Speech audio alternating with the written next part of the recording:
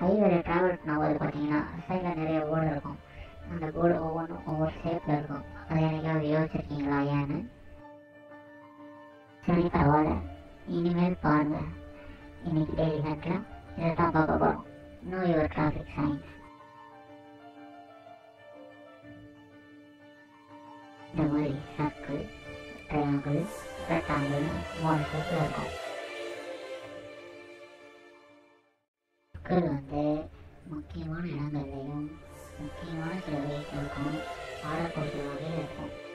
Triangles பார்த்தீங்கன்னா warning கொடுக்கறதுக்காக இருக்கும். ரெக்டாங்கிள் பார்த்தீங்கன்னா இன்ஃபர்மேஷன் சொல்கிறதுக்காக வச்சுருப்பாங்க. சர்க்கிளில் ரெண்டு டைப் இருக்கு. ஒன்று ஃபுல் ப்ளூவில் இருக்கும். இன்னொன்று எஜில் மட்டும் ரெட் கலர் இருக்கும். ப்ளூ சர்க்கிளுக்கு எடுத்துக்காட்டு சொல்லணும்னா நீங்கள் பஸ் ஸ்டாப்பில் பார்த்துருப்பீங்க. ரெட் எஜில் சர்க்கிளில் பார்த்தீங்கன்னா அந்த இடத்துல நீங்கள் செய்யக்கூடாதோ அது வந்து அந்த சர்க்கிளில் மென்ஷன் பண்ணியிருப்பாங்க.